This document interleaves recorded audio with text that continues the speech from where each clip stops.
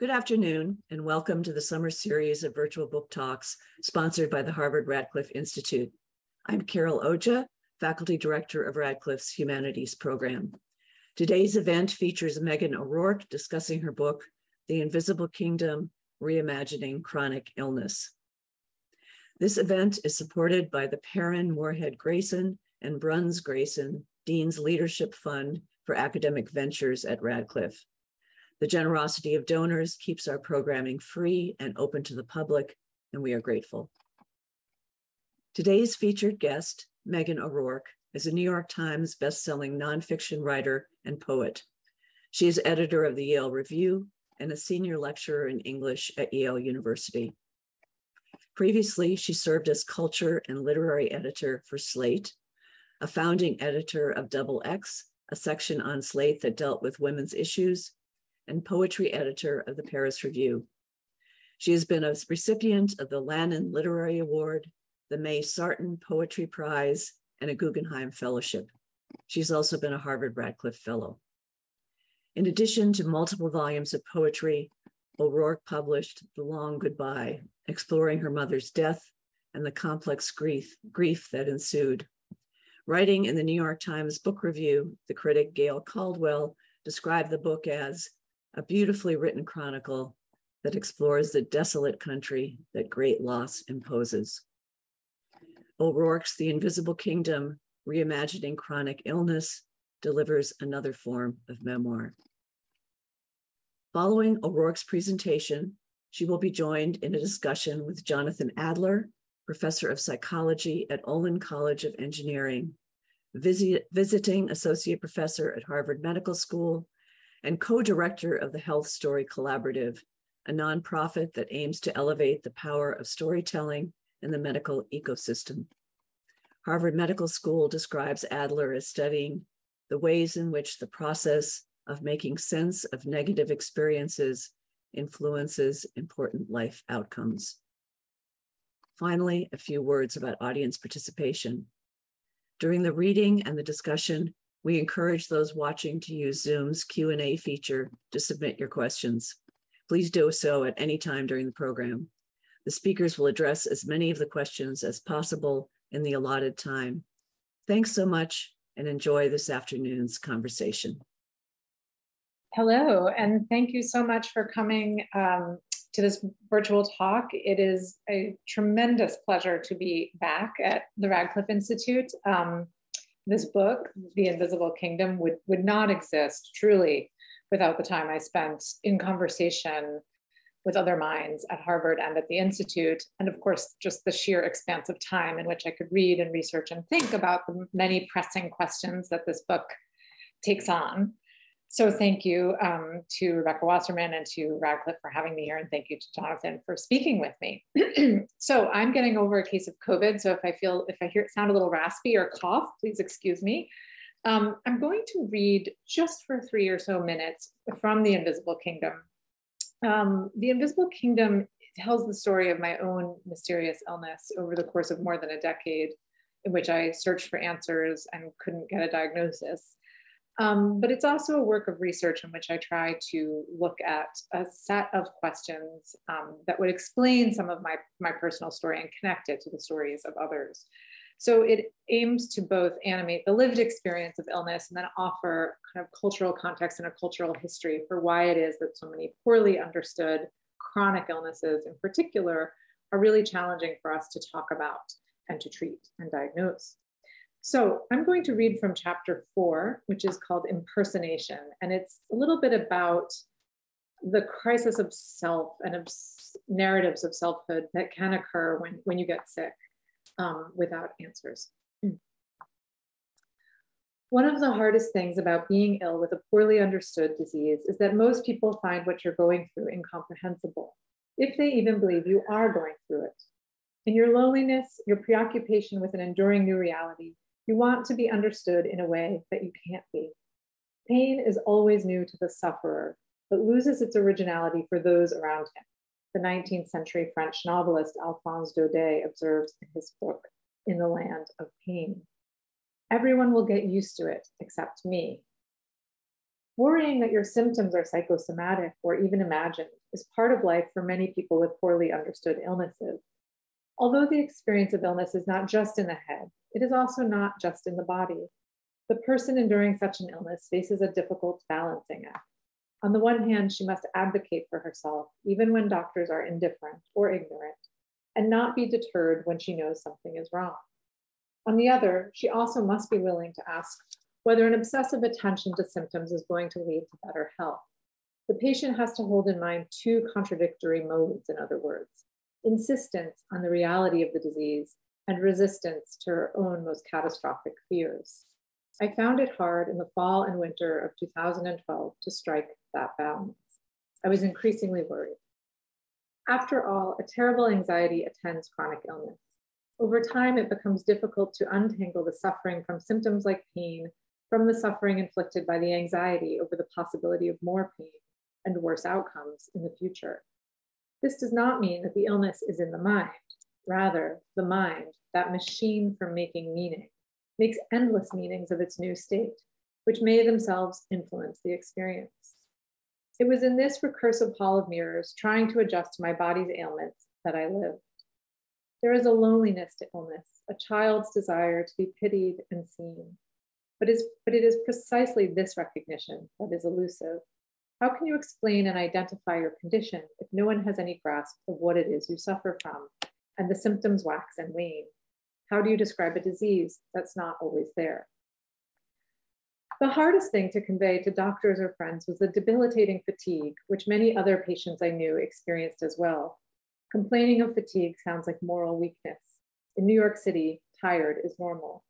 But the fatigue of physical dysfunction I came to recognize is as different from normal sleep deprivation as COVID 19 is from the common cold. It was not caused by needing sleep, I thought, but by my body's cellular conviction that it needed to conserve energy in order to fix whatever was wrong. The feeling erased my will, the sense of identity that drives most of us. The worst part of my fatigue was the loss of an intact self, sense of self. It wasn't just that I suffered brain fog, it wasn't just the loss of self that sociologists talk about in connection with chronic illness, in which everything you know about yourself disappears and you have to build a different life. Rather, as I got sicker that winter, I no longer had the sense that I was a distinct person. On most days, I felt like a mechanism that moved arduously through the world, simply trying to complete its tasks. Sitting upright at my father's birthday dinner at a quiet restaurant required a huge act of will. Normally, absorption in a task, an immersive flow, can lead you to forget that you feel pain, but my fatigue made such a state impossible. I might, at the nadir of my illness, have been able to write any one of these sentences, but I would not have been able to make paragraphs of them. To be sick in this way is to, to have the unpleasant feeling that you are impersonating yourself. When you're sick, the act of living is more act than living. Healthy people have the luxury of forgetting that their existence depends on a cascade of precise cellular interactions, not you. Farewell me, cherished me, now so hazy, so indistinct, Day writes, a line I now often thought of. I'm going to stop there and invite Jonathan to uh, join me on the virtual floor. Jonathan? Hi. Thank you for that little taste of your spectacular book, Meghan. Um, before we launch in on again on both of our behalves, I just want to thank Becky Wassarman and the team at Harvard Radcliffe Institute for inviting us to join you today, uh, and to Professor Oja for that kind introduction. Um, I also want to let everyone joining us know that we would love to take your questions. Um, so Meghan and I are going to chat for a little while, but then we're going to transition into taking your questions. So at any time during the program, please feel free to submit your questions uh, use the Q&A function at the bottom of your Zoom screen. Um, that can, and if you can keep your questions as concise as possible, that would be great because it'll make it easier for us to elevate your ideas, but also stay present with each other during the conversation. Okay, so let me start by first just saying how much I've been looking forward to this conversation. I've been a fan of your writing for many years, Meghan, and I was eagerly anticipating your book. Um, as someone on my own, much more minor, mysterious chronic illness quest, I found it deeply affirming. Um, and as a scholar of personal narrative and as someone who works closely with, with this nonprofit uh, health story collaborative here in Cambridge, I found it deeply important. So I wanted to kick things off on this note of gratitude. Thank you. It's I'm as I said to you yesterday. I'm this. I'm so looking forward to talking with you, and so admire your work. So well, I've got all the pleasantries and the exactly. Well, so I want to open with actually the most important, but maybe also the hardest question to answer neatly, which is just how are you today? You know, it's funny. If you had asked me six weeks ago, I would have said I was doing really good. I, I was probably the best I had been in years. Um, feeling pretty energetic, writing, exercising, and then I got COVID.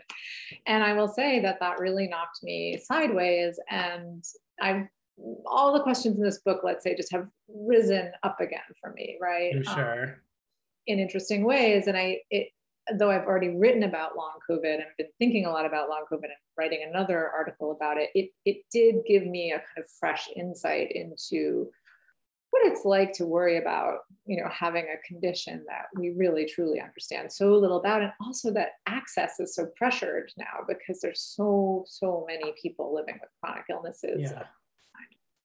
Yeah. Well, I'm sorry that we find you in this moment. It's great to be with you, even in this moment. So, even in the past two days, I'm myself, almost myself again. So, yes. All right. Well, maybe that's the note that we should start on almost myself again. So, um, when you and I chatted before, we talked. So I'm someone who has this outlook as someone who studies the role of personal narrative in constituting our sense of self and supporting our well being. So I'm going to frame our discussion through that lens. And as I mentioned to you, I'm, I'm currently working on this project on what I'm calling identity theft, where people sort of lose narrative authority over their lives. And it seems to me that your experience, and certainly the excerpt that you kicked us off with, could be understood as one of identity theft. Um, you write about the erasure that comes with your illness, but also this lingering sense that you are still somewhere to be found. So I wanted to kick us off by hearing a little bit more about the way you now, from your vantage point of today, look back on the chapter of your life recounted in the book, but also the chapter writing the book, and think about this character of you as both the protagonist, but also as the narrator writing the book. Yeah, it's such a great question, and I I'm really excited for your your work on identity theft, which I think is the perfect term for that loss of self that I'm trying to describe. Um, and, and that term loss of self is a term that I think Kathy Charmaz uses to talk about how disease forces you to build a new life and a new self. But in my case, I felt that that identity shift and self shift went deeper and wider than just okay mm, i can't you know run anymore i can't work it it had to do with the ways in which the conditions i suffered with waxed and waned um, were unpredictable, roamed the body, right? So it wasn't though I could say, okay, I've got a lung problem, I've got a heart problem. It was just this constellation of symptoms that were I to share with a doctor, I could quickly see them starting to become suspicious because it, there were just so many of them.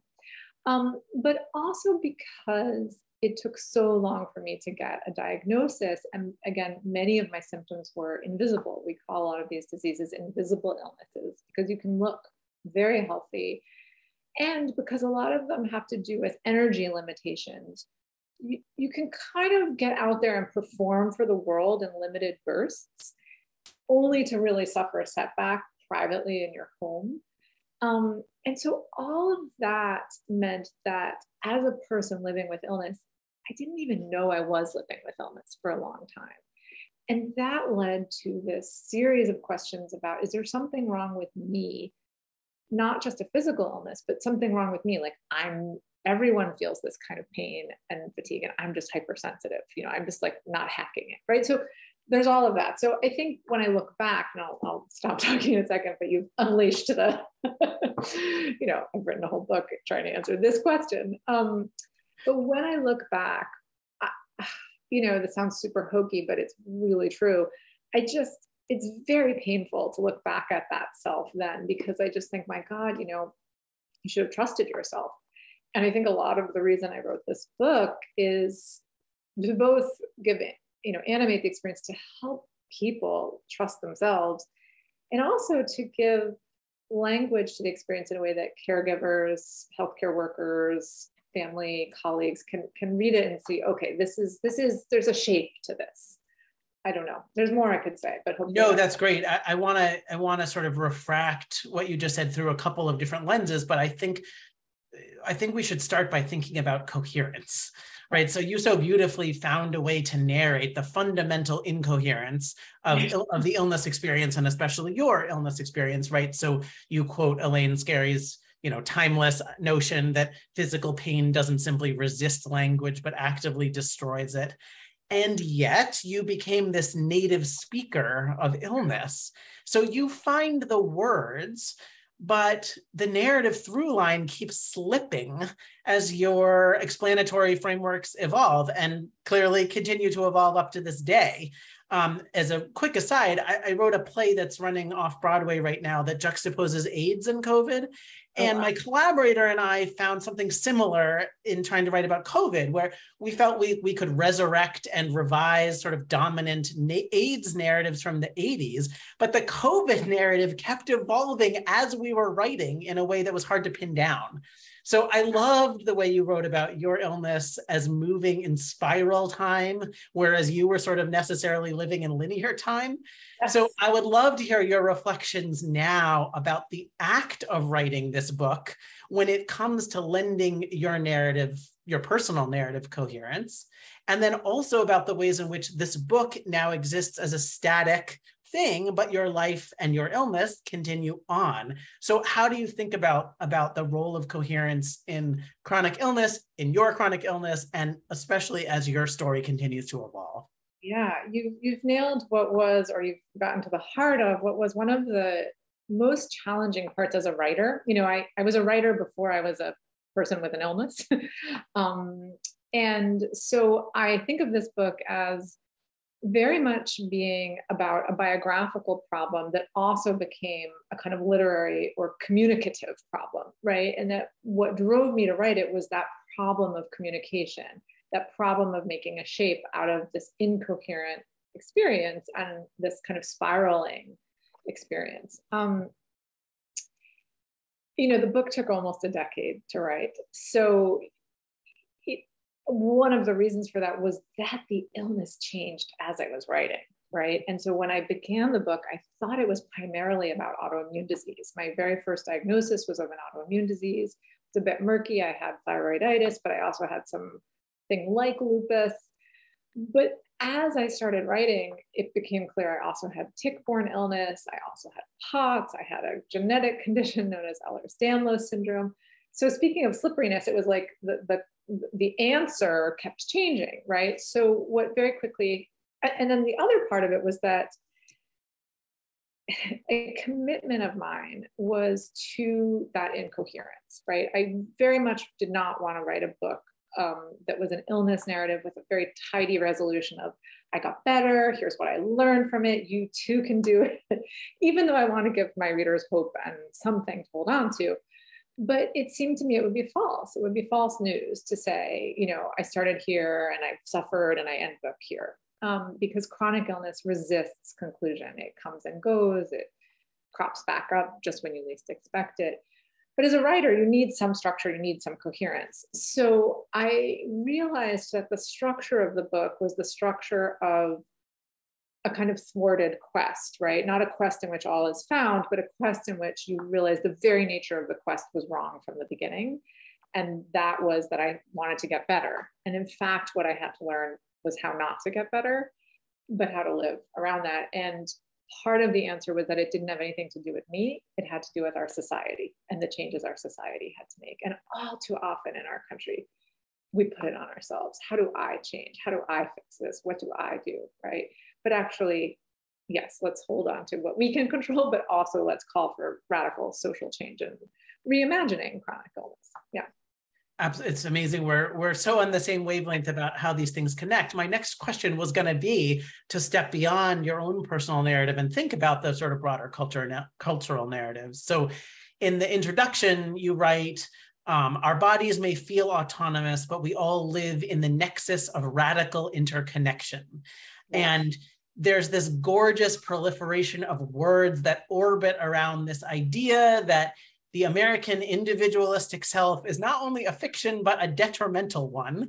Um, so you use words like porousness and interconnectedness and intertwined. And then you also introduce us to this fantastic scientific jargon um, that also speaks to this. So uh, words like H. pylori's commensal relationship with our bodies, or um, Amy Proal's notion of humans as a superorganism or a holobiont, um, and even the metaphoric value in the diagnostic term dysautonomia. Right. Um, and then, and then finally, you've got this piercing notion of the body as a site of social encounter, not as a vessel for American hyper individualism. So I think we all have some understanding of the historical lineage of this way of thinking about the self. But I actually would love to hear some more about how this realization and sort of mapping it to your own experience actually influences the way you live in the world. What does it mean to live in this hyper individualistic society as someone with a real under lived visceral understanding of the limitations of that way of construing the self? Yeah. I mean, it was radicalizing, right? It, it, you know, I don't always live up to the radicalization, but I, I found it to be a radicalizing experience, and in part because I was that person, that hyper individualistic, you know, trying to succeed, always wanting to be the A student, um, you know, thinking what's the next rung on the ladder. I mean, not quite, but there's that way in which we all live, or not all of us, but many of us live live like that. Um, and I think also part of that was that it was very hard for me to understand other people's sicknesses that weren't super clear cut. So a very dear friend of mine in high school's mother had what we called then chronic fatigue syndrome, what people now call myalgic encephalomyelitis slash chronic fatigue syndrome sometimes. And I just really didn't understand it. I thought clearly there's something psychological going on. She's depressed, right? So when I say radicalization, part of that radicalization was not just the shift from thinking about my life and how I fix my own problems to thinking about how social policy, food deserts, racism, sexism, all that shapes my life and others, but also to kind of accepting other people's testimony in a really different way from the way I used to, so that I have a much more, I'm, much more open to just hearing what people have to say. I think, um, than I used to be. In terms of my work and the radicalization, you know, I think it's why I wrote this book, right? It's it's why I'm writing and reporting a lot on long COVID, and that I think is a key priority for me over the next year or two. There's other books I'm trying to write and want to write, but I just feel we're living through not just the pandemic, but a pandemic of chronic illness that is a kind of shadow pandemic that is just starting to come into focus. So, yeah, it has shifted the way I think about my priorities and the way that I think about um, caring for and listening to to others. That's not too yeah yeah and i think you're so right that that that shadow pandemic or the echo pandemic um, is one that the medical system is not as well positioned to handle as one where individual people get individual discrete diagnoses and we can you know either treat them or fail to treat them but so right. yeah, I wanted you write about chronic illness as sort of the signature diagnosis of our time, um, and autoimmune illness in particular as the signature diagnosis of our time.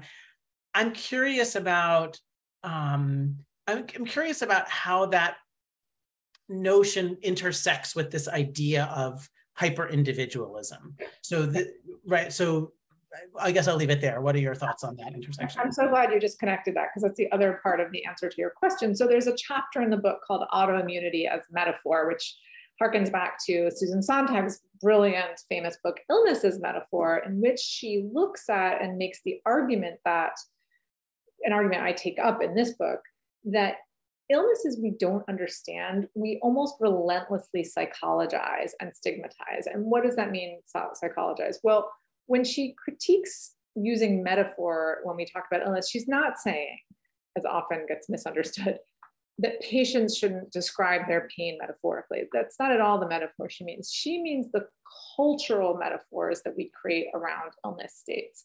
So she was talking specifically about how breast cancer and certain forms of cancer were at a, at a point in American history thought of as diseases of repressed emotions, especially when women have them. Um, not an idea we really have them. Little pockets here and there in the kind of wellness community, it pops up, but it's not in the kind of common cultural parlance. But it, what I found when I was diagnosed with an autoimmune disease and, and went, as one does, online, if you're a 21st century patient, what I found is that there were these heartbreaking patient groups where people were suffering and overwhelmingly women, but some men too, were posting about their experience of autoimmune disease as a kind of encounter with having to reckon with their selfhood and their life choices.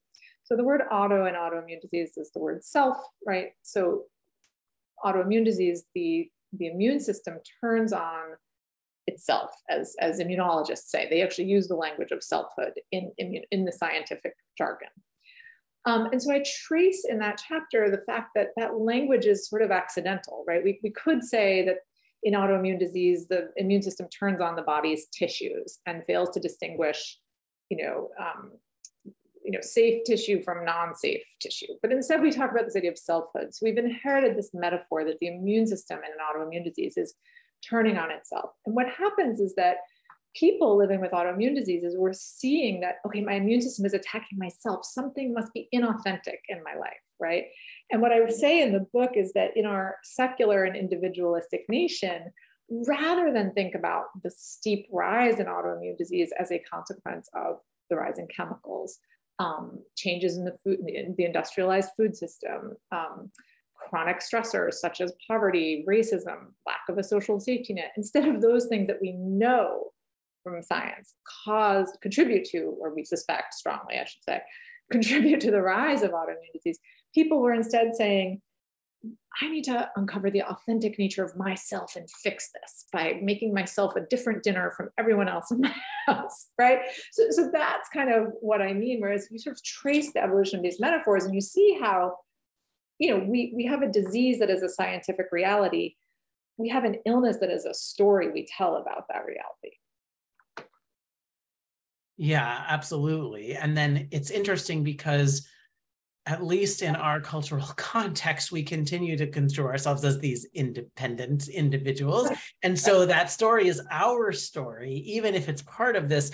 So I guess I'm curious, again, harkening back to one of my earlier questions, how does it actually impact the way you move through the world to have a, an expansive understanding of your role in the broader cultural context? I mean that's an absurd question from sort of an eastern context where the the construal of self is different but in an american context it is almost a little foreign uh, to think about ourselves not as the center of the story not as the protagonist not as the independent person. So has it shifted the way you navigate your daily life I think that it's made me feel less bad for myself, right? I, I think that, for example, getting COVID, and I had quite a lot of symptoms after the infection resolved, and it was terrifying, right? And I was like, I have to fix this right now. And there was actually something quite bracing and humbling about thinking about what I knew from my work and thinking about the fact that, in fact, I was one of millions, and that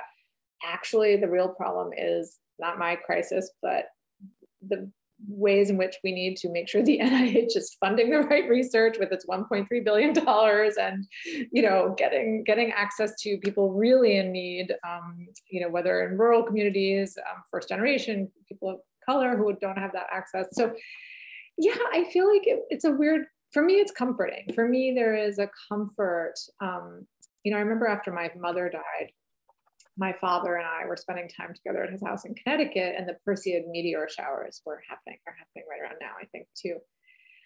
And we had this great conversation where he said, You know, I love looking up at the stars at night because it just makes me think that my suffering and my sorrow and my grief are such a tiny part of this larger mystery. You know, so instead of being made lonely by the smallness, he was he was found consolation. And I, I would say something similar the other part is just that I do feel this um, responsibility as a kind of, you know, I don't know, as a public intellectual, but as a person with public facing writing to really keep trying to get these ideas out there because I think that once you have frameworks for understanding these in what we call infection associated conditions or these energy limiting diseases, once those frameworks are widely out there, it, it's no longer the job of the individual to explain to their employer, I have this energy limiting condition. When I exert myself, I crash. I can only do so much, right? That, then it's just known the way that we know chemotherapy is debilitating and the pain and fatigue come and go, right? So we, we need these frameworks out there, and that's going to help the, the individual. Absolutely. Yeah. In my scholarly world, we talk about sort of cultural master narratives. Um, and indeed, the only way to shift them is to put out individual narratives that in some way repudiate the cultural master narrative. So yeah, writing this book is definitely a public health intervention. It gets alternative narratives out there into the cultural discourse in a way that people can talk to NIH or their individual physicians or their employers right. or their partners in different ways. Right. Um, just pausing to remind everyone who's joining us that I see your questions pouring in. Please keep them in. I'm trying to sort of curate them on the side so that we'll get to them in just a little bit. Um, but it's please keep them coming. Um, so I wanted to loop back on one other theme that's running through the book. So I think this American hyper individualism aligns with another cultural narrative that's so powerful in your writing, which is this expectation for redemption from life's challenges. So, again, I can tell you that scholars in my field have been studying this theme of redemption for decades. Um, my graduate mentor, Dan McAdams, published a book back in 2006 called The Redemptive Self Stories Americans Live By. Um, and there's a strong social science literature to support the notion that redemption is positively associated with psychological well being. Um, and work uh, by my colleague Kate McLean and others suggests that American listeners also prefer redemptive stories to other kinds of thematic arcs. And yet, um, certainly in my work with Health Story Collaborative, I've heard many medical patients who have similar experiences to yours, Meghan, where they're expected to tell redemptive stories about their illnesses, right? So you write, if you must be ill, at least be improved by your illness. So when redemption doesn't feel like a viable option, how should people approach narrating the unredeemable? I think that the fundamental important point I want to make is shifting it from, again, the individual finding redemption to us collectively asking, what are the conditions that make redemptive narratives possible? And what are the conditions that make it impossible for the person living with illness to get to that place of psychological well being? And how are we blocking that? And what can we do to change it? So, again, you know, what I, one thing I say in the book, I can't remember the exact line, but I say something like, you know, there's also this idea of accepting your illness, right? This is going back to the Kathy Charmaz and loss of self, right? You do at some point have to, and I talk about this, like I think you do at some point have to accept and build a new life, right? But the refrain I heard from the dozens, I interviewed almost 100 patients, and that resonated with me and that I myself had said was, you can't build that new life. You can't accept the reality of your illness. You can't find that psychological well being when no one recognizes the reality of that new condition that you're trying to integrate into a social self. We're social creatures. Illness is not happening to us as autonomous, isolated individuals, you know, in a hospital bed pod that no one enters, right? It's absolutely a social experience in which it changes our jobs, it changes our family relationships, it changes our possibility for love to have children, right? Many long COVID patients young, are young women who are saying, I don't now think I can have a family. So we have to ask ourselves, what do we need to do in order to allow for that that redemption to come in and redemption you know i think in the end can be a very pluralistic term it doesn't have to be i'm better it can be you know i've taken my suffering and i've turned it into um, you know being useful to others but not everyone is going to get there, even when we create the conditions for more people to get there. It's just, I think these, these, you know, invisible illnesses are just so challenging because they they're punitive. They they they punish you for effort, right? So often you make an effort and you get set back. They they're unpredictable. Like there's just it's so hard to adjust to that reality. I think that's one reason that we look away from. Yeah. So I, I think, think, you're right. I think too, you know, in in the psychological psychological literature on well-being, we sort of think about this two dimension these two dimensions. One is feeling good, the this Aristotelian hedonic well-being, and the al- alternative is eudaimonia, right, or eudaimonia. So like things feel meaningful, and but even me. So your illness experience and many people's experience resists hedonia. Like it doesn't feel good. It's not gonna feel good. Um, or it's gonna feel good and then not feel good and then feel good and not feel good again. Um, so it's not a linear narrative. But there's a way in which the nature of the condition itself actually presents an impediment impediment to meaning making as well not just because it's so incoherent temporally incoherent yeah. and causally incoherent for many people too but also because meaning takes work and yeah. if you're so yeah. fatigued all the time so so then it really is this what are you left with in if you can't feel good can't feel sort of good in the happiness sense but you also but you don't have the bandwidth for meaning um, what do those days look like and how do you sort of seize on the days when you do have a little more bandwidth yeah yeah i mean and i i think again you know it's hard to find meaning when your disease is being dismissed. Or the other thing that happens, by the way, is that people believe in you, but they they want to reassure you.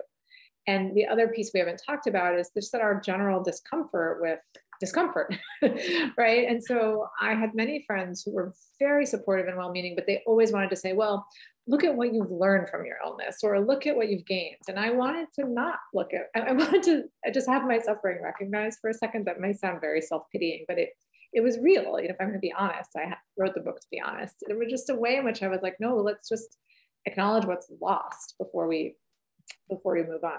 So, I, uh, just to interrupt for a second, I think that's one of the most important messages in the whole book. Actually, is to say, wait a minute, before we look for something to come out of this, let's just pause and acknowledge how much this sucks. Yes. Um, and really, really name that before yeah. trying to move on and make something out of it. Sorry, go on. Yeah, no, I think that's it. I think, you know, because when you give the person room if, if you witness the suffering if you say yes this sucks. I see your pain. I see that you're wincing you then make space for the person to say yes and you know i'm so glad to be having a coffee here with you or yes and right? And so it, it's funny someone asked me the other day i can't remember exactly what they asked me but it was something about how i deal with unpredictability now. And i mean it's totally different because I have a sense of what's going on. And because I've written this book and I've actually succeeded in a way in telling the story, I realized that since the book came out, I've actually felt better than I've felt about this piece of it. And I think it's, it's there, and this speaks to your work, Jonathan. There's such a power in just putting it down and feeling that it can be seen in its mess. Um, so I think that allowing that mess is actually con- in a contradictory way the way toward finding you know. I completely agree. I'm curious if you have actual tips for folks who are in similar situations for how to approach that task of just putting down the words, putting down the meaning. I think it's worth really trying to write even an email to family members and friends. And you may think that it would not be welcome, right? But it's funny. I remember after I published the, the this book began with an article in the New Yorker about what I thought was then just an autoimmune disease. And after I read it, my father and my brother, who were, you know, wonderful and supportive parts of my life, both separately called me and said, Wow, I had no idea you were going through this. Now, I had said it to them many times, but there was something about reading it in a shape that, you know, what I love about writing, the reason I'm a writer of all the art forms, well, first of all, I would be a terrible visual artist, but what I love about it is that it's the only art form that allows us, or it's the art form that m- most intimately allows us to shadow another consciousness, right, through language, through thought. So I think that there's a way in which you might be surprised by just the act of writing something down with the idea of sharing it. Um, and one thing I've done at various points when I was most sick was just had a couple friends to whom I would write an email and just say, this is what's going on. I'm finding it un- pretty much unbearable. And just the act of doing that and getting just back the simple, I'm so sorry, I'm so sorry, I wish we could help you, enabled me to keep going. So I think it can be a very small ask of yourself. Um, and I think I think we forget how often we we are the narrator of our lives, not just the main character and that right. self-authorship doesn't have to mean writing a new york times best-selling book that an email is actually an act of self self-author self-authorship and if self-authorship is what's slipping away then actually that's a powerful act. Right. And it's a claim on others attention that i actually think is more likely to be met than than other than claims in the moment for, for whatever reason. Yeah. Yeah. I think that's right so okay we have sorry, we have a torrent of questions coming in, which is wonderful, and people should keep going. But I want to make sure to switch and start to elevate some of them. So the first one is one that was on my list too, so that's why I picked it. But a bunch of people have been asking you to think about the ways in which your experience as a woman you cast sort of a unique lens on your experience and i would just add um, about thinking about whiteness as a lens too. You've already spoken about both pieces, but I'd like to sort of elevate that and, and have you talk a little bit about the gendered and racialized ways in which your experience unfolded and what you've heard from people who have different lived experiences and um, what insights that provides. Yeah. So one of the chapters in the book is called The Woman Problem, and it really tries to answer this question that I have, an, I think many of us have as an intuition, which is, hey, it feels like something about the fact that I'm a, you know, in my case, quite a, I was quite young when I got sick in my early 20s, you know, feels like something about the fact that I'm a young woman is leading, is contributing to this problem of recognition and validation. That I, I was looking for recognition and validation from healthcare professionals. And in fact, all too often, what I was met with was, you know, I mean, one doctor said, your cholesterol levels are great, you know, and you're thin, like you're fine, as if those were the only two markers of health, right?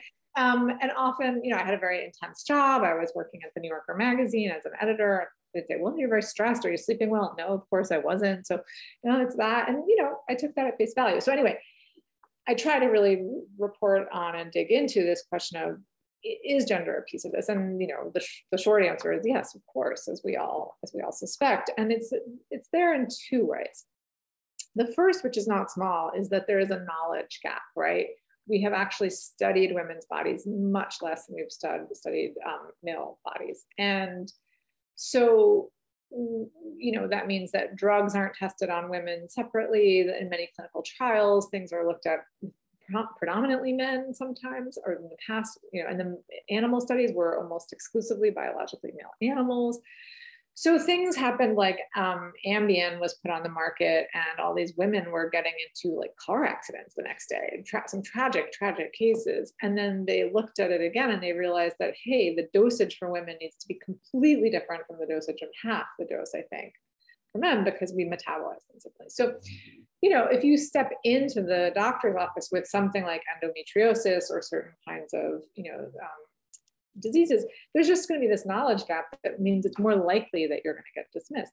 Then, too, as I try to talk about, there's, I think, this legacy of the epidemic of the diagnosis of hysteria in the 19th century and the way that that comes into Freudianism and psychology and the ways in which we start to read the body that has inexplicable or medically unexplained symptoms as the site of a sort of hidden psychological story, a trauma, you know, sexual abuse, whatever it might be. So, um, what Freud does in short is, you know, comes along and makes it into the fact that if we can't figure out what's wrong with you, in some sense, then the problem is you, right? There's something in you that, and, and you know, we don't all have to be Freudians for that idea to still actually be one of these cultural narratives, these master narratives that you're talking about. I think it's there in every doctor's office.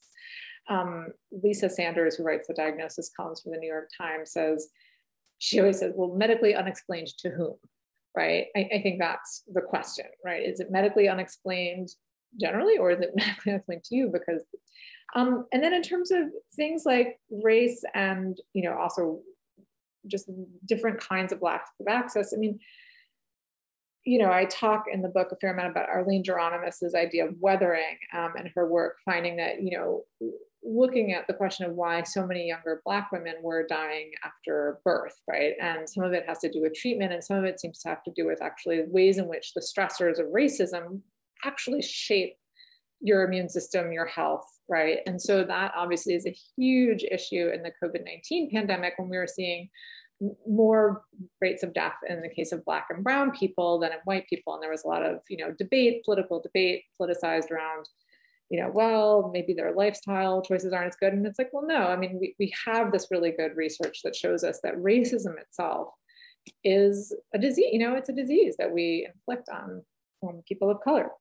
So that's a really big obviously i'm white. And so as I was writing the book, I was like, I don't, I can't pretend that I'm not white. But what I can say is that part of my responsibility as an individual writing my story is to say, this story is shaped by my whiteness in privileged ways. So as bad as this is, there's these ways in which there are things I am not, you know, enduring. Um, yeah.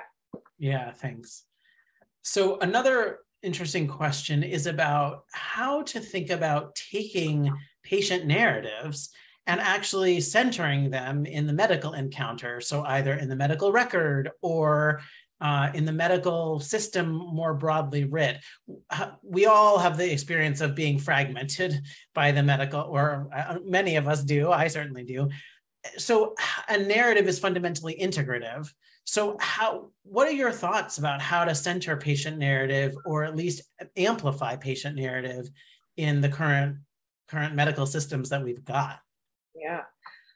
It's such a big question. I've been thinking a lot about it. I, I think the first thing we have to do, which is maybe a pipe dream, but we have to build time into the medical encounter for the patient to tell their narrative. I mean, you know, I think there's a statistic in the book that doctors on average interrupt patients after something like 90 seconds of speech.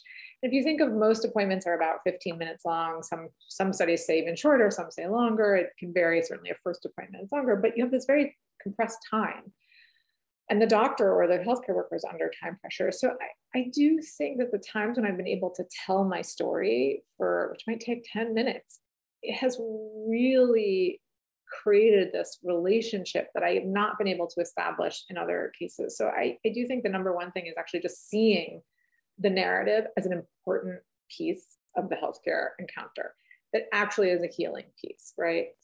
Um, the other, I think, is to really use that narrative to create space for a conversation around what's bothering the person most, right? Often, when I told my story, doctors went to a certain symptom, often joint pain, that I had mentioned, and skipped right over actually three things that were much more troublesome to me and much more, you know, getting in the way of my life. And something I like from palliative care is that in palliative care, which I think is a kind of model for chronic illness care, you know, the patient is ideally asked, you know, how do you want to spend this time? We know you're terminally ill, but what matters to you? What value? What, what's getting most in the way of your life and your well-being? And I think we need that that model in chronic illness care, and it starts with the the patient narrative. Um, I don't know. I mean, it would be amazing if there were, you know, ways even outside of the, the individual doctor appointment to kind of build storytelling into hospital systems and into, you know, like patients, you know,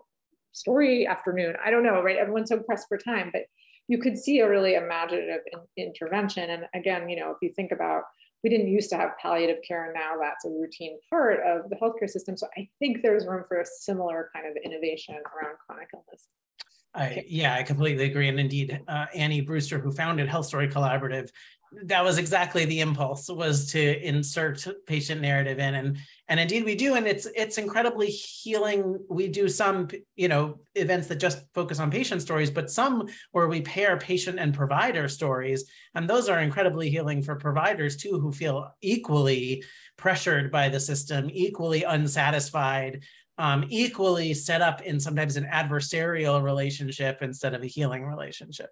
Absolutely. So I, and, and, you know, this book is critical of the medical system as a way of actually being, I think, I think of it at least as being quite sympathetic to doctors who are in an impossible situation. And we are serving no one in this current setup. Um, the way we've structured it makes it really challenging for healthcare to be provide the kind of ethic of care that I think so many people got into it for. yes, exactly.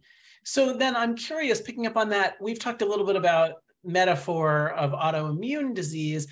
I wonder if we also might think a little bit about the metaphor of the of doctoring or you know mm-hmm. taking care of patients a detective story sets up a particular kind of interaction where it's we got to find the answer and then you find the answer and it's done and somehow diagnosis is denouement.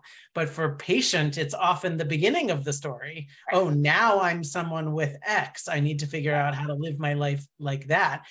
I'm curious if you can think about alternative metaphors for doctoring that might lead to more productive medical encounters for everyone. Yeah. I think of it a little bit like the coach, right? I mean, I think I, as a chronic, I often said to my my husband, I really, it's like I need a, I would say I need a detective at first, and then I would say I need a coach, right? And you're absolutely right that diagnosis is not denouement; it's in a sense a new beginning. And I'm careful in the book to say, as much as I craved a diagnosis, it was not the end was the, was the beginning, right? And so, what I think you're looking for as a person with chronic illness is that coach or that it's like a therapist, even, right? Where sometimes what you want, again, is just to be seen and validated. You know, you know what you need to do if you're having a flare. You need to recommit to your sleep and your diet and blah, blah, blah, whatever your things are. But it's hard to do it by yourself. It takes willpower you know maybe you're got a sick parent or a fussy child and you you know you you can't always put yourself first. And so it can be really helpful to have that doctoring that is a kind of whatever it is you need. Maybe some people need you know tough love some people need empathetic listening and just finding that relationship and building it out. I have a great rheumatologist who basically that's what she she does. You know she listens she helps she helps me figure out things. Um yeah. That's wonderful. Um so without a doubt the most dominant thread in the question the many questions that we've received is um is one of gratitude one of feeling seen one of feeling affirmed. So you know someone said what you just said in the first five minutes gave words to something that i've been trying to name for the last 15 years. Um, and then everyone wants to know what can we do? What can we do? I want to do something and I think there's a thread of questions, especially around what can caretakers do? Caretakers, not the medical caretakers, which I think you've already offered a, a really nice frame for, but what can family members, loved ones, friends, what can they do? How can they relate in a in a better way to loved ones in their lives with these kinds of chronic illnesses? It's such a big and important question, and we could talk about this for an entire hour. So anything I say is going to be necessarily too reductive or too limited or too simple, but it's I'm so glad we're asking that question. I'm so glad we're thinking about it. I, I do think, and I know this sounds really obvious, but just going back to that first principle of recognition and validation, you know, I, I quote um, Alphonse Daudet, the French novelist. There's another who I quote a lot. He says in the book about his pain, you know, he has this moment where he realizes that everyone else will get used to his pain, but he never will. He will never get used to it. And I do think that the nature of a chronic illness is that there is this way in which, even though you accept it and learn to live with it, there are days where it just floors you and takes you totally by surprise, where the grief hits in a, in a new way. So I do think being there for the process, right? Um, mirroring, listening to where the, the person is. I think about this a lot because my son, my older son, has some issues and he's very young. So there's a lot he can't understand yet. So I think if you're a parent, a lot of it is figuring out where where do you meet the child and some of it's listening to their questions some of it's giving them a framework that they can understand we both have ehlers-danlos syndrome this is pretty intense so i have to say very basic things like you know you're your ankles are more wobbly than other people's and some that means your body's working really hard and sometimes you're more tired than your friends. Like keep it very simple but just mirror and when he asks questions being present and try to normalize it for for him. So but also never normalize it but not um, erase it right? Um, normalize it in the sense that i say we all have things we're struggling with but you really do have this thing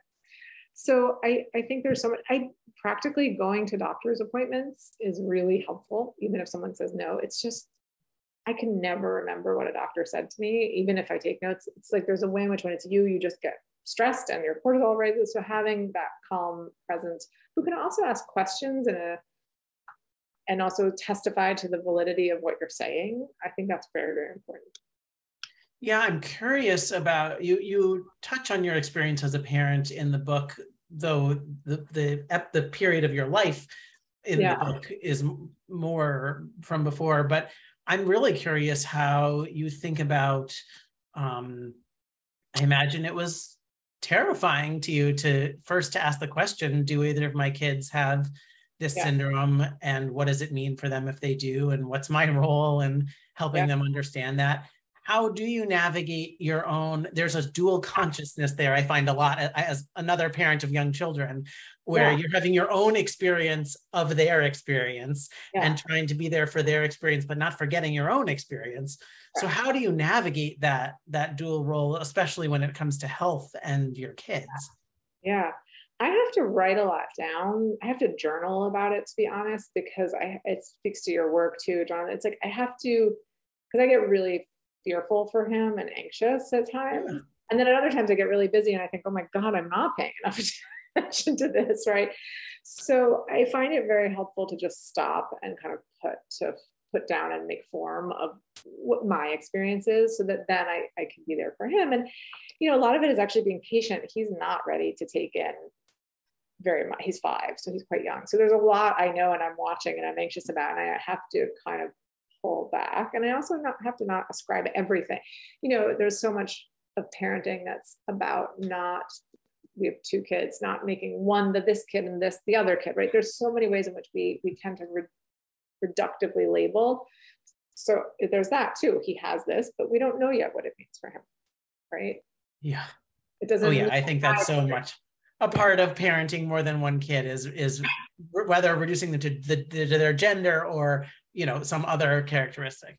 Um, all right we need to move to our last question. Time flies. Um, yeah.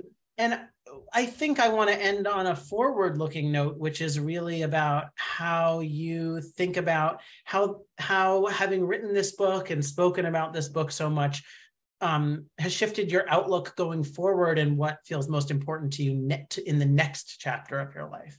Yeah. I mean i think it's it's funny. I I'm have a book project that's very different, and I was thinking, you know, it's as hard as this book was to write. I did have this clear sense that maybe if, if what I was trying to do worked, it would be helpful to people. And that's not always the case as a writer that you have that kind of project. And so I do think, especially in the scope of light of the pandemic, I feel this very real sense of okay, I've assembled this knowledge base, wanting to continue to write about some of these issues in particular taking on workplace issues like how do we deal with this crisis of chronic illness and the workplace as we look at long covid and how that makes us look deeply at autoimmune disease and other things. Um, again long covid and narratives around long covid. So yeah it's it's made me feel like there's other things pulling at me but i can't let the, the subject go and there's so much more that i didn't there's so much i didn't even talk about in the book right? Um, because you just in the end you can't put it all in. So uh, yeah and then i think also you know when your energy is limited it becomes um, easier to say no and to be clear about what it is that the work that really matters in your one small life. Yeah. Well we will all look forward to what comes next um, I want to wrap us up by first thanking you for this incredibly important contribution that this book makes, not just to the understanding of chronic illness, but also just to the real daily lives of people who are navigating illness. Um, and thank you for your conversation today amidst, you know, the aftermath of COVID in your own life.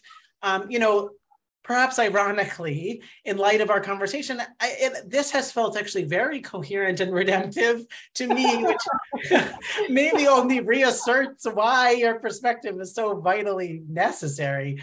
Um, so thank you, Meghan.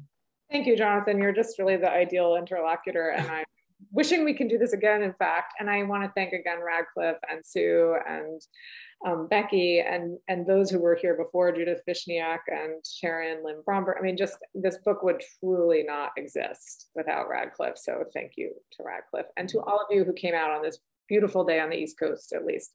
yeah. Yes. So thank you for everyone who joined us today. Um, thanks for your wonderful questions. Um, I want to let you know that today's program has been recorded um, and it's going to be posted on the Radcliffe website in about a week. Um, and you can find more information about upcoming Radcliffe virtual programs, including the final book talk program of the summer, which is on August 9th, um, and also videos of past events um, by going to radcliffe.harvard.edu. Um, thank you again for joining us today. And given everything that we've discussed today, please do take care.